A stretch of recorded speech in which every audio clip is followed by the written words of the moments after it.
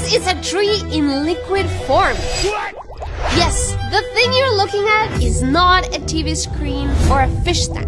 It is a living, breathing, liquid tree. Living, breathing. Yes, a tree that you can pour into a cup just like a drink. And we found the guy who invented it. Hello, Nas Daily. I'm Dr. Ivan. Dr. Ivan is a scientist from Serbia, and one day he saw a big problem.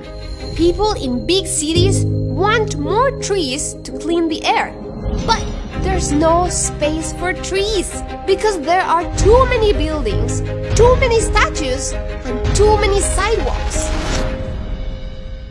So Dr. Ivan came up with a genius idea.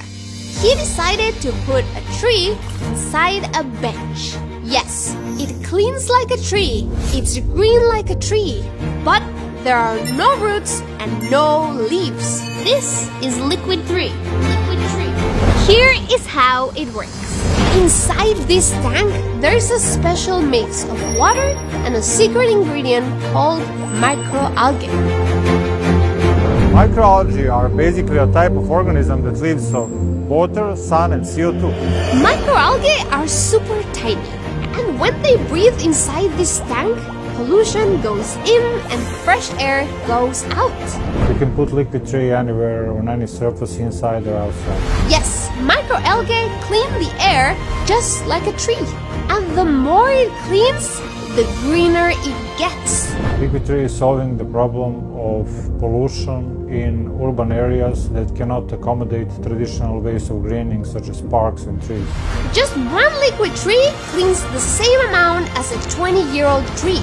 So instead of waiting 20 years to grow a tree, we can plant this in one day. Now the idea is not to replace trees. We like trees.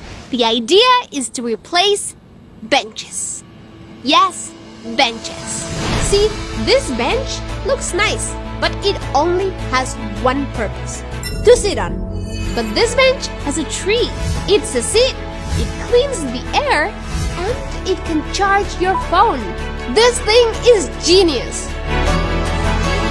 Today it's in Belgrade, but soon it will be in Paris, New York, and New Delhi.